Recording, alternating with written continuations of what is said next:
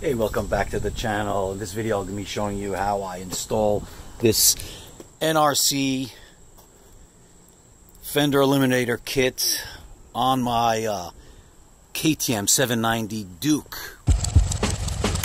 Black, keep the Toyota. Review about the Chotek. Switching over to the 787.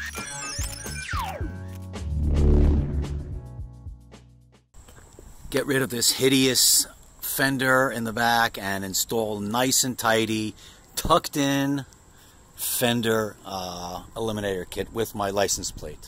Just bought this Duke 790 a week ago and there are a few things that I want to take care of. So I started uh, the other day with uh, replacing my uh, mirrors, those elephant ear mirrors that I had before and put uh, these CRG arrow mirrors which are very very nice. Very look really nice really cool. Next thing I'm gonna do is get rid of this uh, silly looking fender. It's it's a nice bike. It's got a got nice silhouette but profile looking at it just doesn't look right. So got the NRC fender eliminator kit. Gonna install it right now. So I searched the web. There aren't too many uh, options out there right now at this stage uh, but I did find this nice uh, NRC kit. This is what it uh, pretty much uh, looks like. I picked it up, I think, uh, from Revzilla. Check uh, check out the bottom of the description. I have a little link to to the item itself. This is what it looks like.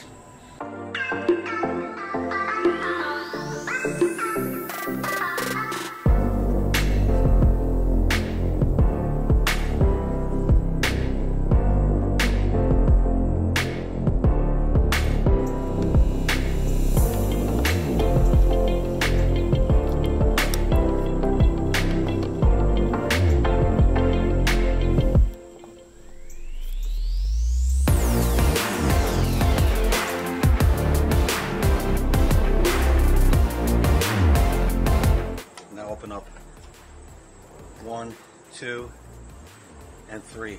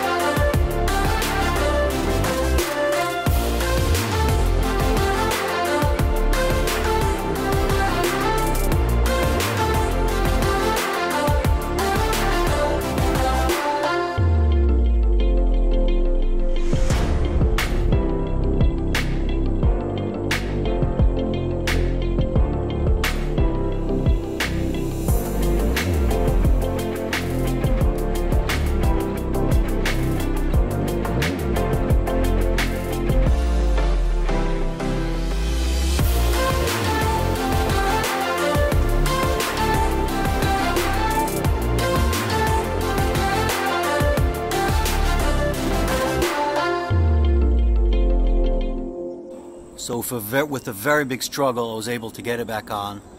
The provided uh, screws that they give are too short, and this uh, lip doesn't let uh, doesn't let it to go through through uh, one of the openings over here. So I used my bolts, and these are too short as well. So this whole thing comes out crooked.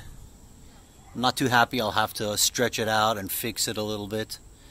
Uh, it. Connecting the wires, signal lights. Now we'll go over to the plate light.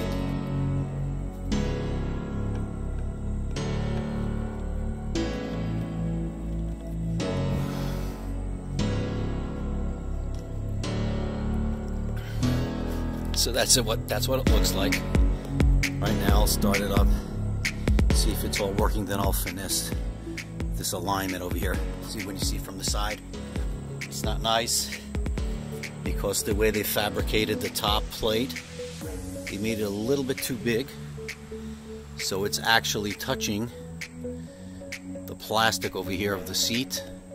So either uh, they should have uh, milled this or, or, or make this a little bit thinner so it, it fits and can actually uh, go a little bit that way. Yeah, Or what I'll do is I'll just bend this down a little bit so it's aligned and parallel to that one. But for now, let's see if it's working. Are the running lights working? Left turn. Very nice. Right turn.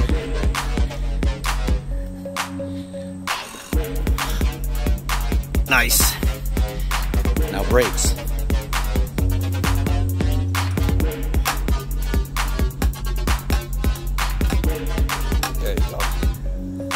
So it's working. Got it to work. wasn't uh, too complicated, but I must say the the, the small finishes were uh, not accurate here. The the bolts, the screws that they provided, were too short. The, like I showed you before, they they were too uh, thick in the top. Didn't fit through their own their own uh, signal uh, plate. And this top uh, plate is not uh, is not uh, shaped properly. It's literally you can see it's literally touching over here and over here, so it's it's forcing the thing to bend down. Got it right with a screwdriver. Put some force into it and dropped the lower one a little bit down so now they're parallel looks much much better and uh, I'm actually very happy gonna tidy up uh, all these loose ends over here and clean up that's it at this stage I'd like to thank you for uh, actually watching sticking around with me close to 600 uh, viewers if you're not subscribed to the channel please go ahead and subscribe to the channel if you enjoy this give it a like share it with other people uh, stick around and tomorrow we'll be writing uh, up uh, New York State. Bye bye.